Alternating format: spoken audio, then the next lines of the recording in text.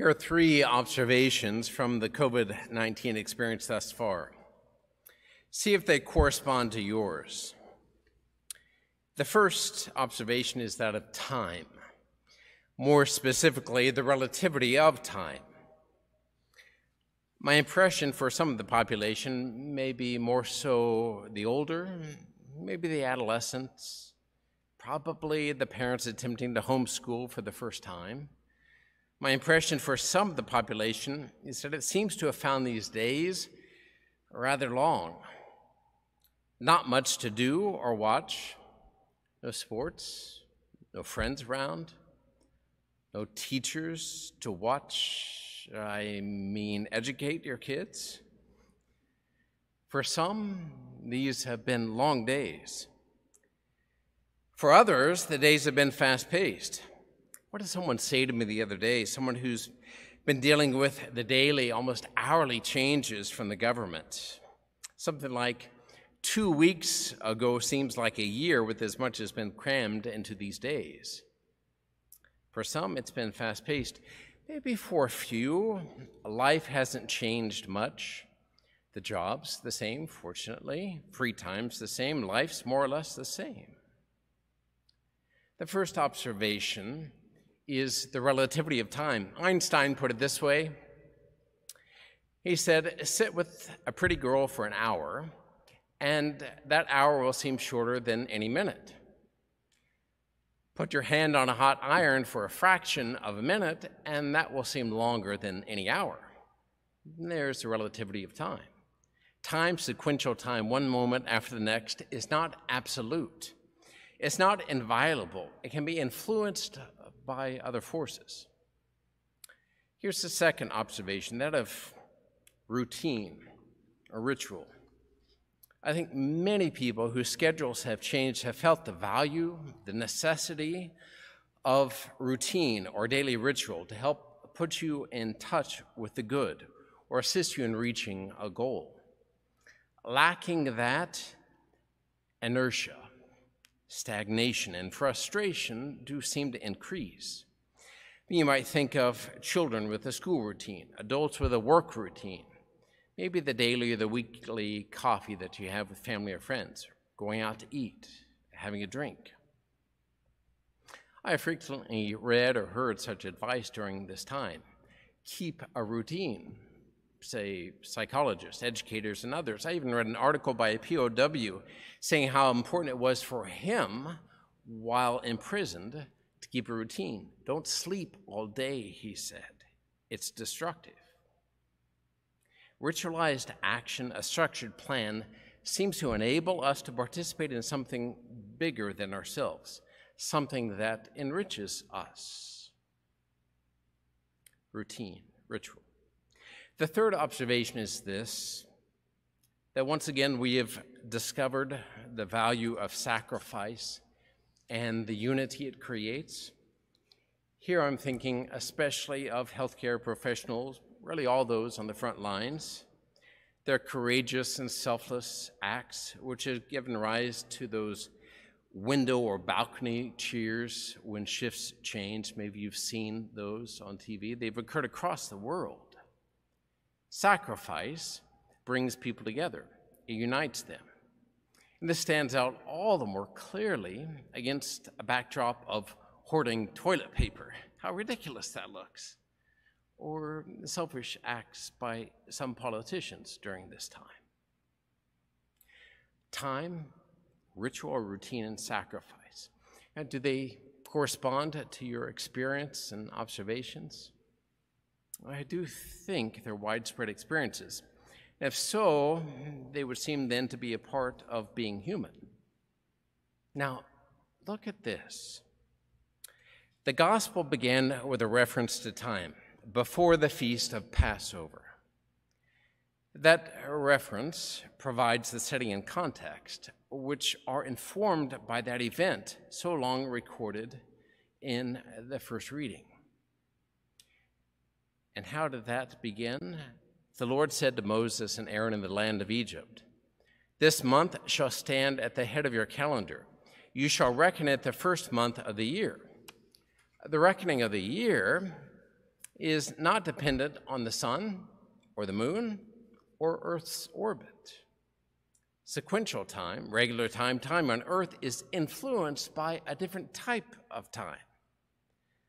God was saying that the event of the Passover penetrates into your calendar of days and is the reference point for the whole year.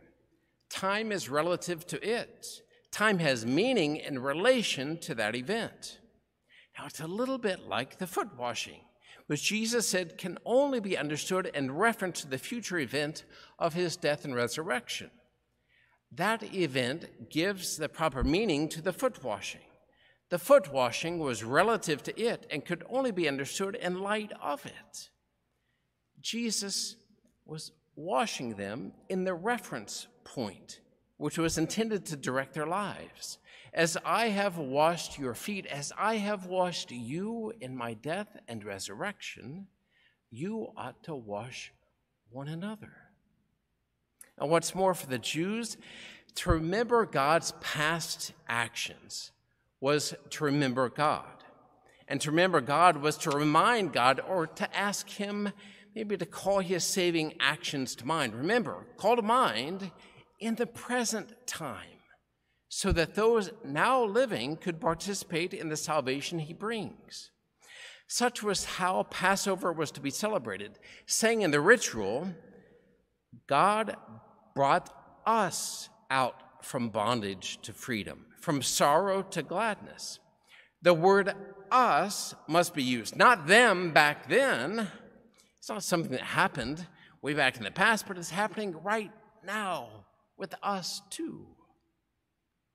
It's in this context that Jesus gave his disciples a structured plan, a routine, a ritual to be performed on an ongoing basis, in which he and his sacrifice is remembered is brought into the present so that followers of all times could be united with him and with one another, giving them, giving us the opportunity not to observe from a screen or sleeping as we might, but participate and collaborate with Jesus all together which is the meaning of the word proclaim that Paul used when he wrote, For as often as you eat this bread and drink this cup, you proclaim, you engage in by acting out and announcing the death of the Lord until he comes.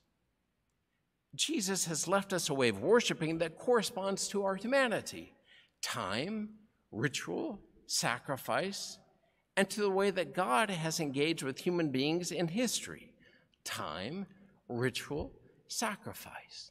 Do you see it? Friends, it's for this reason that while no doubt we're all grateful for the technology that allows Mass to be viewed during this stay at home time, Catholics in a particular way feel its inadequacies, both on that side of the camera and on this side, even if some on that side like the fast forward and the mute option occasionally.